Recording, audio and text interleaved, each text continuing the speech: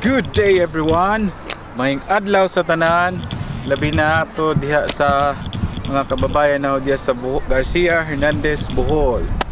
We are here at Kent, United Kingdom, particularly the Leeds Castle.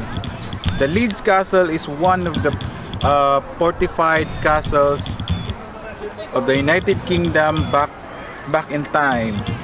So we will try to explore the place, how the the royal people live. We will try to see their rooms, their tubs, their salas, their galleries. It's all in there and we will try to see it today. And and also we will try to see the famous maze of the Leeds Castle. Okay, so let's go and see ya.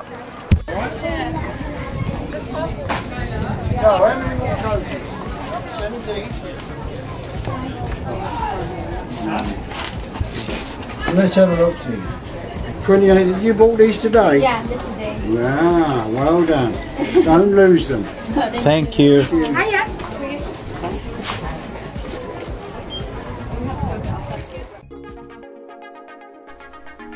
Considered the loveliest castle in the world, Leeds Castle is simply stunning, one of the most favorite places to go. There are so many reasons to love Leeds Castles in Kent. The castle is set within 500 acres of the most beautiful and picturesque grounds. At the center, a picture-perfect castle surrounded by a moat. A nice added bonus is that you only pay to enter once. You can then return as many times as you like within a year. Basically, an annual pass for the price of one day entry. Your journey starts with a one-led walk along paths that run alongside bubbling brooks and waterfalls. There is an abundance of wildlife to spot along the route. Plenty of wildfowl, woodland birds, and insects. Leeds Castle is famous for its black swans. Leeds Castle is a castle in Kent, England, 5 miles southeast of Maidstone. It is built on islands in a lake formed by the River Len to the east of the village of Leeds. A castle has existed on the site since 1119, the first being a simple stone stronghold which served as a military post in the time of the Norman intrusions into England. In the 13th century, it came into the hands of King Edward I.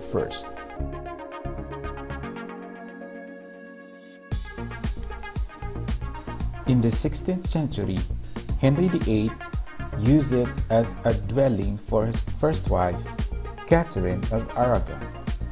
The present castle dates mostly from the 19th century. It has been open to the public since 1976.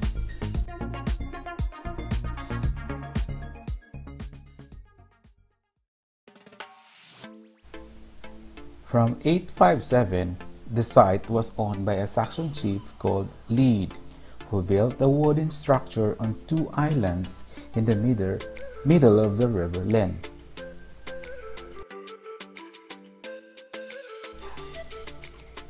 In 1119, Robert de Crevecoeur rebuilt it in a stone as a Norman stronghold. What form this Norman stronghold took is uncertain because it was built and rebuilt and transformed in the following centuries.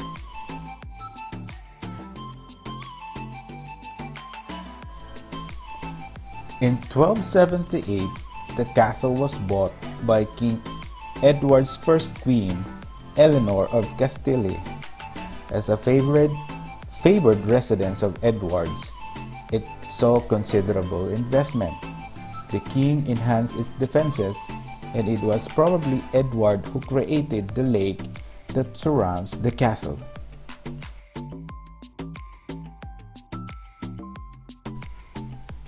Henry VIII transformed the castle in 1519 for his first wife, Catherine of Aragon.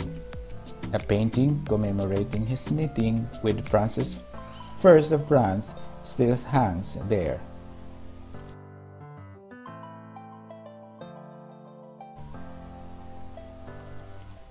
The castle escaped destruction during the English Civil War because its owner, Sir Cheney Culpeper, sided with the parliamentarians. The castle was used as, a, as both an arsenal and a prison during the war. Other members of the Culpeper family had sided with the royalist John First Lord Culpeper.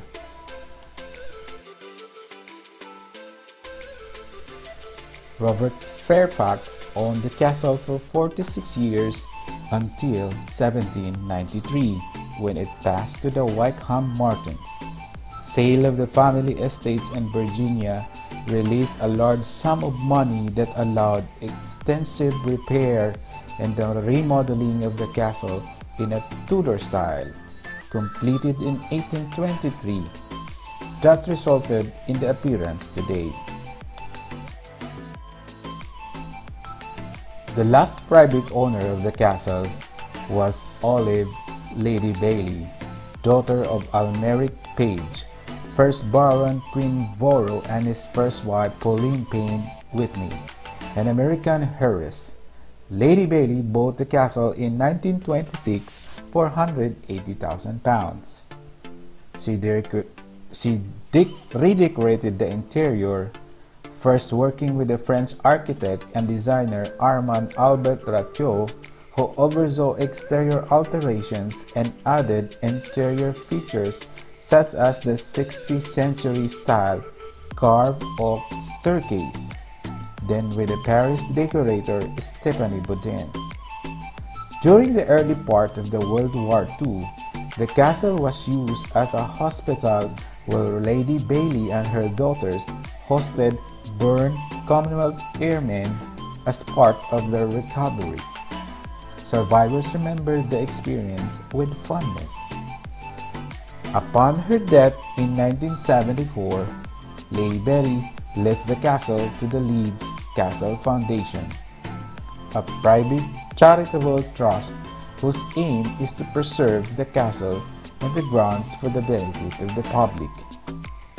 An estimated 1.4 million pounds was invested and a further 400,000 pounds was retrieved from the sale of the furniture to make improvements to the castle and attract paying corporate conferences. However, it was quickly understood that it could not support the ongoing cost of running the estate. So in 1975, the gardens were open to the public, and the following year the castle was also made available to the visitors.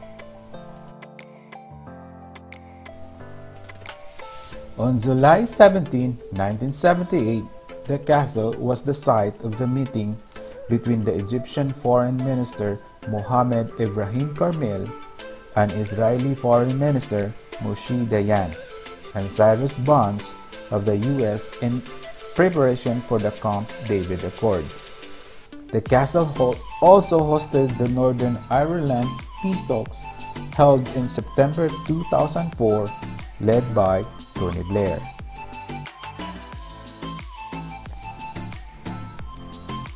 The castle is steeped in history, and as you walk around the grand rooms, you can see how it has changed over the years with rooms from different eras. There are gorgeous antiques to view and paintings adorning the walls. The castle is as pretty inside as it is outside.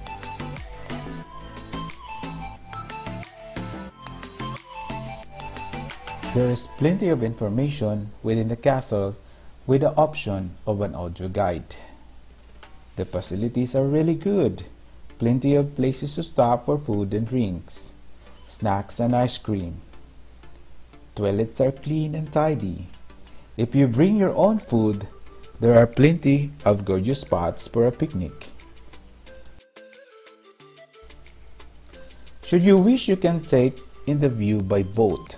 There is a pontoon available on the moat or a ferry ride across the lake for a, for a small extra charge. You can also ride the train to and from the car park if you wanted to for a small extra fee.